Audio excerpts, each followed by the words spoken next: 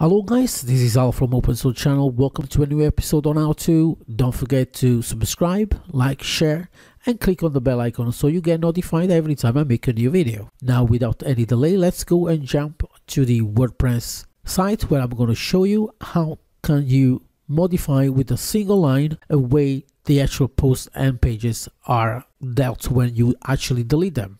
Many, many times people actually delete the actual or trash the actual post or pages just because they want to put it somewhere safe and they forget about it. Maybe they put it there because they want to do something in the later time. They forget about it and then they go after 30 days, yes, 30 days, and they can't find the file anymore. Now with this single line that you need to put it in the config file, like the way I'm going to show you, that will resolve this issue you got multiple choice. You can change the amount of days from 30 days to whatever amount of days you want or you can actually completely remove the trash can by adding a zero. Just follow me and i'm going to show you how.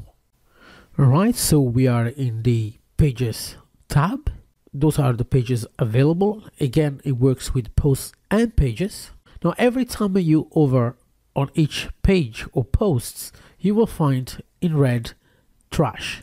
Now you can click it and once you click it it will automatically send the actual file into the trash. I'm going to send the contact into trash as you can see here. Now if i leave the actual page inside the trash after 30 days the actual file will you know will be gone will be automatically deleted.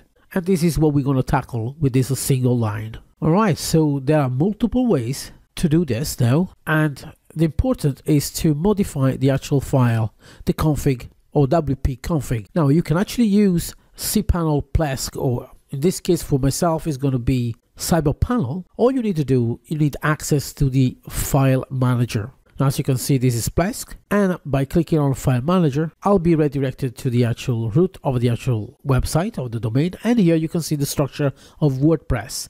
And the file I'm going to modify is wp-config.php. Now, I'm not going to use this method now for this tutorial, but I'm going to show you a different method by using a plugin, just in case you don't have access or for you it's difficult to do that, by installing a free plugin. Now, I do not recommend this way but again i'm going to show you because just in case you can't have access to the other method so you search for a file manager and as you can see i already got one installed. After you're done it's very good practice to uh, remove the actual file manager or you deactivate it okay? Uh, at the moment is active as you can see. And the file manager is on the left corner here as you can see there. I'm to click it and I get more or less the same thing when you get installed for the first time. I'm going to say no thanks. And again, we got the same structure that you've seen on the other side. And here you can see the wp-config.php. Now to edit, you right click and you press on code editor. That will open the file. And here is the actual line of code that you see that we're going to use. Define empty trash days X. You're going to change the X with a number. By adding the zero, the trash can will totally disappear and under each page or post you get delete permanently. You don't get that trash. Or you can actually change the X with any numbers you want. Again, the default is 30. Now, as you can see here, I'm going to put it at the end of the page but in later stage you will see it. I put on the top of the page. So no don't put it here where, where you see it but put it on the line number two number, number three as you will see later on. As you can see here I'm going to put it on number three but what you see here is the I tried and I had uh, issues so I had to you know redo it. I had some kind of an error. So now what I'm going to do I'm going to change that to zero so I'm going to show you that once you do that and you save and close, you go to the actual page.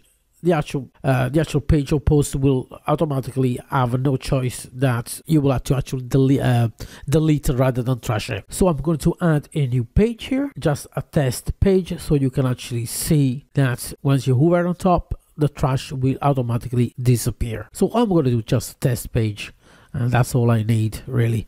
I'm going to press publish and I'm going to go back out and I'm going to show you. And as you can see now you get delete permanently rather than trash every time you actually over on each page again on posts as well as I'm going to show you later on. I'm going to do code editor again and as I told you earlier on now the actual line is not anymore on the bottom but is on line 3 as you can see there with actual zero i had some kind of a 404 error and i don't know even why 404 uh, but again it's up to where you want to put it like you know after php that's up to you. It works. I tried both ways, so it works okay. So now let's go to the posts. Let's create a post and let's have a look if it works as well. The same as the actual page. So I'm going to click add new, post test, test and I'm going to publish it. Now I'm going back to the menu there of the posts where I can find all the posts there and when I over on top as you can see it says delete permanently. Alright so as you can see here